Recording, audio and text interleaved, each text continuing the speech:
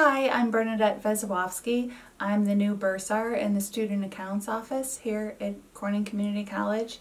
I'm really excited to be here. This is all new to me. I'm new to higher education, new to Banner, new to Corning Community College, but I am a graduate of Cuyahoga Community College in Cleveland, Ohio.